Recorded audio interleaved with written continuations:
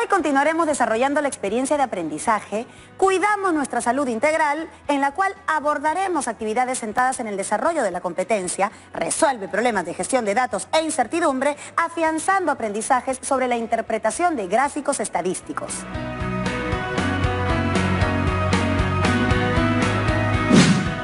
Estaba leyendo unos periódicos y me encontré con algunos gráficos estadísticos. Son algo distintos en sus formas, pero contienen mucha información interesante. Me llamaron la atención sus formas porque además de presentar los gráficos ya estudiados, se presentaban en combinación con otras formas interesantes. Recorté los que más me llamaron la atención. Observa. Cierto, Junior. Yo también me he encontrado muchas veces con gráficos similares en los que se brinda información estadística y en algunas ocasiones he tenido dificultad para interpretarlos.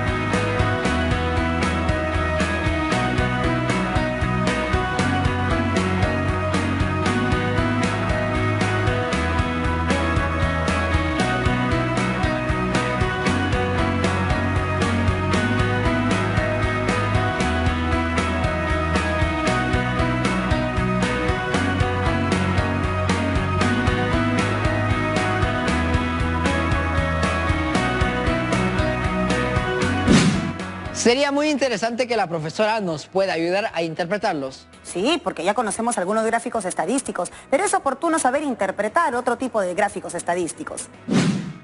Justo el propósito de nuestro programa de hoy es... Interpretamos una variedad de gráficos estadísticos y establecemos conclusiones sobre las características de una muestra o población.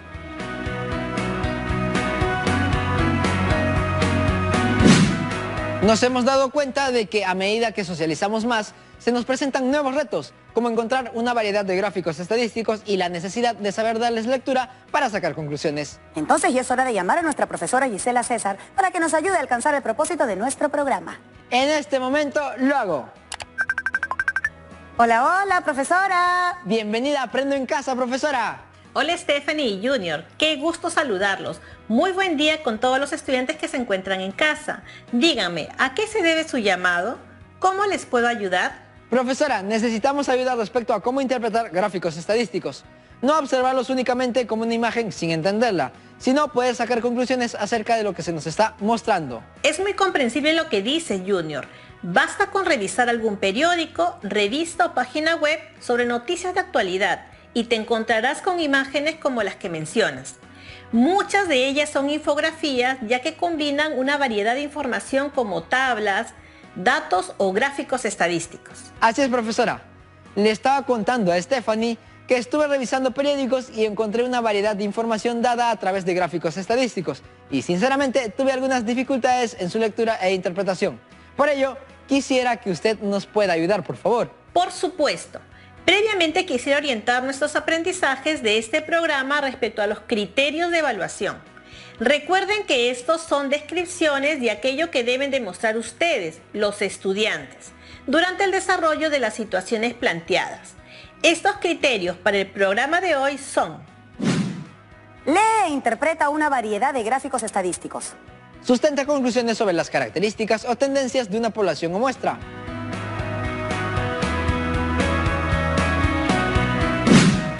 Junior, hace un momento nos compartiste una variedad de gráficos estadísticos. Es muy importante saber darle lectura y sacar conclusiones de ellos. Recordemos lo que sabemos acerca de la definición de un gráfico estadístico llamado también diagrama. Es una representación visual de datos estadísticos por medio de puntos, líneas, barras, polígonos o figuras asociadas a escalas de medición que permite una fácil comprensión de la información en su conjunto. El tipo de gráfico a utilizar dependerá del tipo de variable estadística.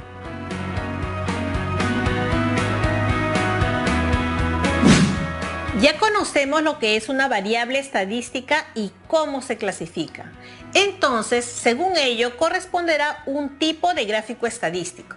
Así, si hablo de un polígono de frecuencias, la información que se espera ver debe estar relacionada con variables cuantitativas continuas. ¿Con cuál gráfico quisieran empezar? Profesora, creo que podríamos empezar a revisar este gráfico.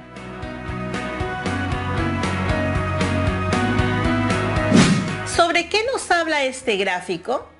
¿Qué información podrías extraer de lo que observas? Según el título, trata sobre el estado de los contagiados al 8 de junio del 2020. ¿Y qué tipos de casos existen según su situación actual? Veo que hay una leyenda en la parte superior, donde se identifican los tipos de casos, fallecidos, enfermos y curados. Bien, ¿y qué otra información visual se puede extraer? En la parte extrema izquierda se identifican países y en la parte extrema derecha hay totales. Creo que ahí están los totales de contagiados a esa fecha por cada país. Por ejemplo, a esa fecha el total de contagiados en Italia era de 234.998. Entonces, relacionando los datos de los extremos, ya podemos extraer información. Así es. Por ejemplo, el total de casos en el mundo era de 7.038.942 personas. Y en Estados Unidos era de 1.942.363 casos. Y así podría seguir para con los demás países. Ahora pasemos a la parte central, quizá la parte más interesante. Sí, veo que en la parte central las barras tienen divisiones. Es diferente al gráfico de barras visto en el programa anterior. En este tipo de gráficos, lo particular es cómo se juntan las barras, una a continuación de la otra. Estas barras pueden ser horizontales o verticales. El nombre que recibe este tipo de gráfico es el de gráfico de barras apiladas. ¿Y para qué se utilizan, profesora? Se utilizan para mostrar cómo una categoría más grande se divide en categorías más pequeñas y cuál es la relación de cada parte respecto a la cantidad total. Además, se puede hacer comparaciones entre cada parte común. Veamos lo que dice este gráfico de barras apiladas. Al 8 de junio del 2020, el total de infectados en el mundo era de 7.038.942 personas. De ese total, el 5,7% corresponde al total de fallecidos en el mundo, el 49,4% corresponde al total de enfermos y el 44,8% al total de curados. Haciendo una comparación entre los casos curados de todos los países, es decir, las barras verdes, vemos que en Alemania se da la mayor cantidad porcentual de recuperados respecto a su total de contagiados. A ver, chicos, ¿qué podrían decirme si solo se enfocaran en comparar las barras rojas? Podría afirmar que en Francia se dio la mayor cantidad porcentual de fallecidos, 15,6% respecto al total de personas infectadas en dicho país. Y en Rusia, la menor. Es decir, del total de personas infectadas en Rusia, un muy bajo porcentaje de ellas llegaba a fallecer, solo el 1,3%. Y si hiciéramos una lectura al interior de cada país, ¿qué podríamos decir? Por ejemplo, de Francia, en Francia, el porcentaje de personas curadas, la barra verde, es menor que la barra amarilla, es decir, los casos que se mantienen enfermos. Además, el porcentaje de personas fallecidas, la barra roja, es casi la mitad del porcentaje de personas curadas. En comparación con Alemania, podría decir que el caso francés era preocupante en esa fecha. Habría que ver cómo está la situación actualmente. Junior, sin querer diste una opinión respecto a lo que ves, y eso es muy bueno. No se trata solo de leer, sino de saber interpretar lo que quiere decirte cada gráfico estadístico. Ya que hablamos de gráficos de barras, pasemos a revisar este segundo gráfico estadístico.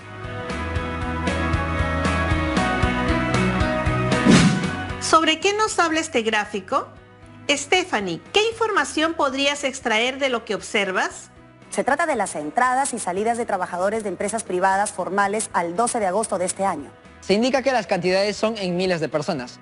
Por ejemplo, para la primera barra, el número 307 significa en realidad 307 mil personas. Profesora, ¿y por qué un grupo de barras apunta hacia arriba y otro grupo hacia abajo? ¿Notas alguna leyenda? Veo una en la parte superior donde puedo identificar dos categorías, entradas y salidas. Bien, ¿qué otra información visual puedes extraer? Relacionando el color de la leyenda con el color de cada grupo de barras, noto que las entradas de nuevos trabajadores se presentan en las barras que apuntan hacia arriba, mientras que las salidas hacia abajo. Por ejemplo, en noviembre del 2019 ingresaron a trabajar a las empresas privadas formales alrededor de 307 mil personas, mientras que en ese mes dejaron de trabajar 266 mil personas. Entonces, al relacionar ambas barras de cada mes, ¿podemos extraer información? ¿Hay algún mes que les llame la atención en particular? Mm, creo que abril del 2020. Me llama la atención el tamaño de las barras al compararlas entre sí. Su tamaño me indica que más fueron los que dejaron de trabajar que los que entraron a trabajar. ¿Y qué pasó en julio del 2020? Parece que hubo una recuperación. El total de personas que entraron a trabajar fue algo más del doble de personas que dejaron de hacerlo. El gráfico de barras contrapuestas es un gráfico que compara dos situaciones que por lo general se contraponen. Por ejemplo, ingresos y egresos, ganancias y pérdidas, aprobados y desaprobados, etc. Las barras se pueden presentar en forma horizontal y vertical.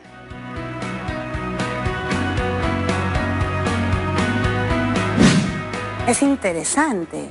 Cumplen una función específica según la información que se requiere dar a conocer.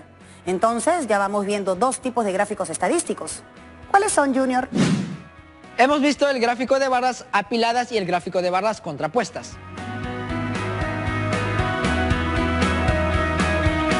Muy bien chicos, seguimos. Les presento ahora este gráfico estadístico.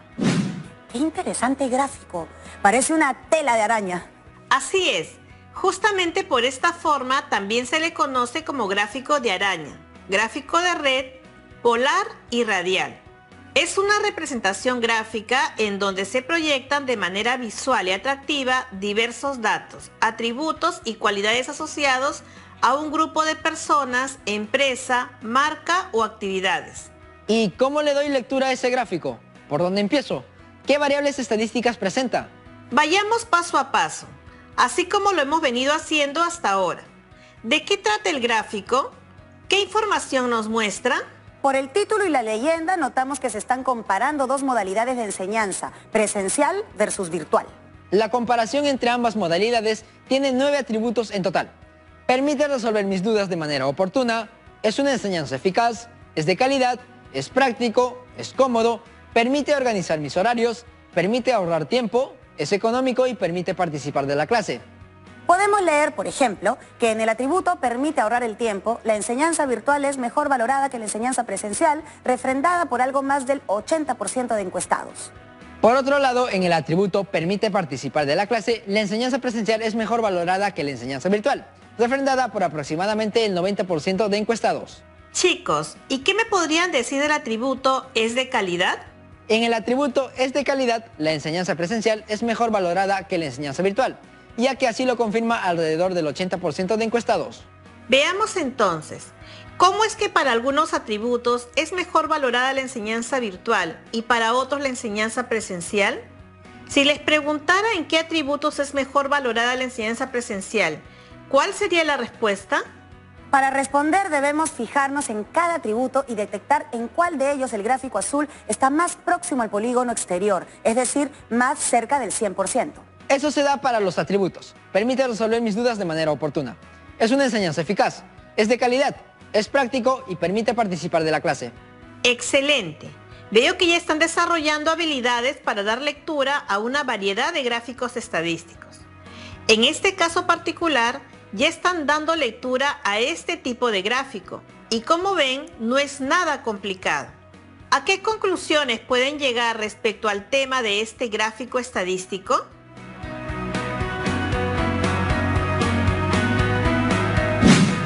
Me parece que ambas modalidades tienen sus ventajas y desventajas. Sin embargo, considero que con apoyo de la familia, los profesores y el compromiso de los estudiantes, todo obstáculo se puede superar y salir adelante. Yo creo que las personas encuestadas ven con más ventaja la modalidad presencial. Sin embargo, concuerdo con Junior en que antes de ver un obstáculo, debemos ver una oportunidad de seguir mejorando. Además, estos estudios nos ayudan a ver qué aspectos debemos ir mejorando cada día.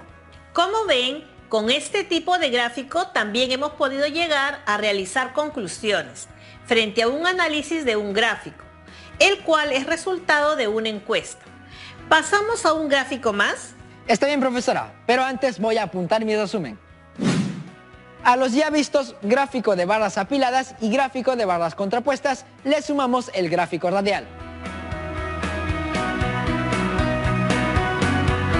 Muy bien. Ahora, ¿qué podrían decirme del siguiente gráfico? Por el título deduzco que se trata del consumo de un plan de telefonía celular. Sobre un total de 2.048 megabytes, ya se han consumido 160 megabytes. Y eso se observa gráficamente al notar una parte morada en la circunferencia que rodea a los datos numéricos.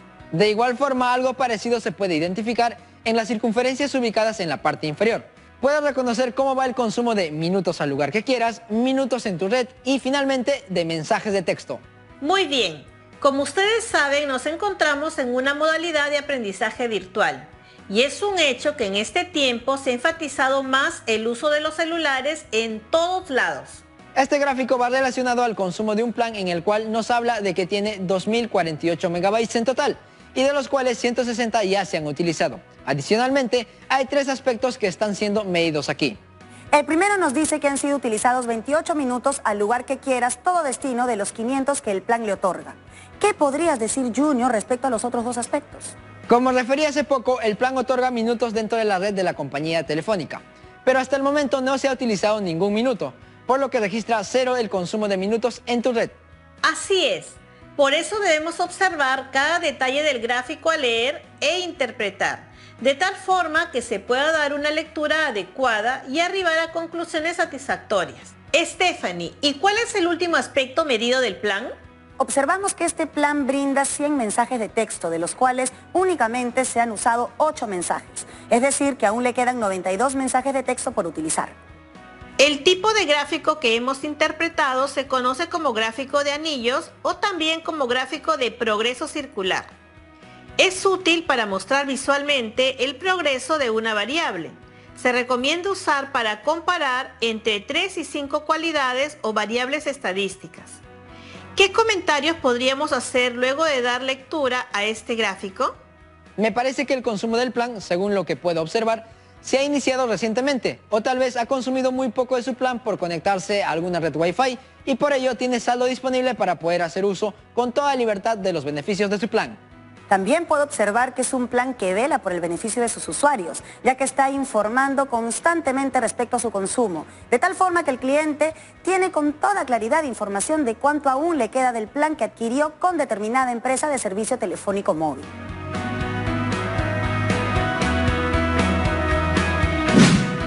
Veo que cada vez podemos leer e interpretar los gráficos estadísticos con mayor facilidad.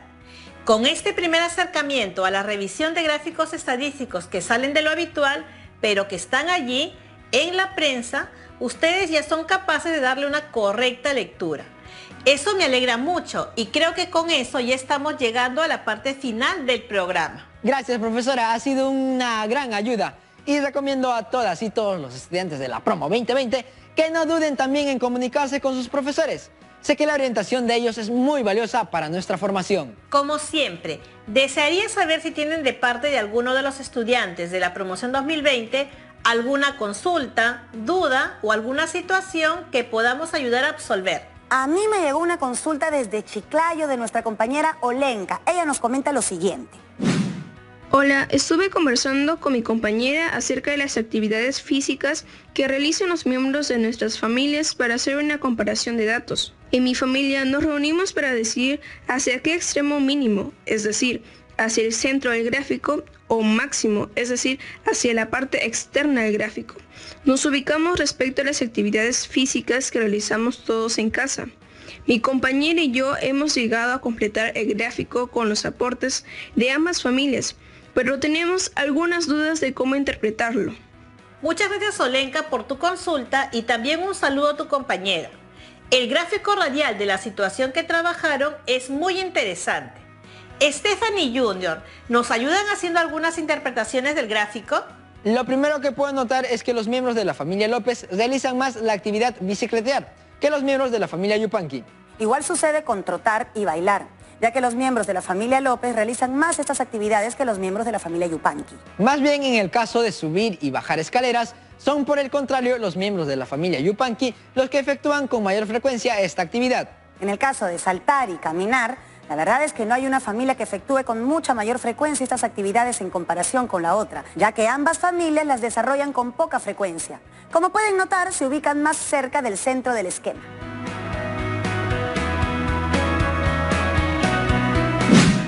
Fabuloso chicos, muchas gracias. Bueno, creo que ya va siendo momento de retirarme. Ha sido un programa satisfactorio. Gracias profesora por el apoyo que recibimos de su parte. Muy valioso no solo para mí, sino también para todas y todos los estudiantes que nos vienen siguiendo programa a programa. Sí, profesora, muchas gracias por su apoyo. Hoy aprendimos a leer e interpretar diversos tipos de gráficos estadísticos que nos permitirán entender situaciones de actualidad y, claro, relacionadas con el cuidado de la salud. Gracias a ustedes por hacerme nuevamente parte de este espacio de aprendizaje de todos sus compañeros del país. Antes de retirarme, les presento la ficha de autoevaluación. En ella marcaremos cómo hemos desarrollado cada uno de los descriptores. Anotaremos si lo logramos sin dificultad, o si tuvimos alguna dificultad, o si aún no pudimos lograrlos, y si es así, colocaremos la razón y pediremos ayuda a nuestros maestros, a fin de poder lograrlo. Recuerden que ellos están preparados y gustosos de apoyarnos. Profesora, ¿y cuáles son los descriptores? Son los siguientes. 1. Logré leer los gráficos estadísticos. 2. Logré interpretar los gráficos estadísticos. 3. Hice comentarios adicionales y conclusiones de acuerdo con la información que daba a conocer cada gráfico estadístico. 4. Identifiqué cada gráfico estadístico y sus características. 5. Utilicé oportunamente un gráfico estadístico en función de la variable de estudio.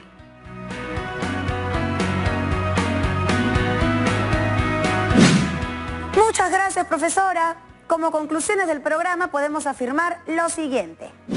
Además de los ya conocidos gráficos estadísticos de barra, circular, polígono de frecuencias e histograma, existe una variedad de gráficos estadísticos presentes en periódicos y revistas. Según la variable estadística que trate determinada investigación, se debe seleccionar el gráfico estadístico idóneo.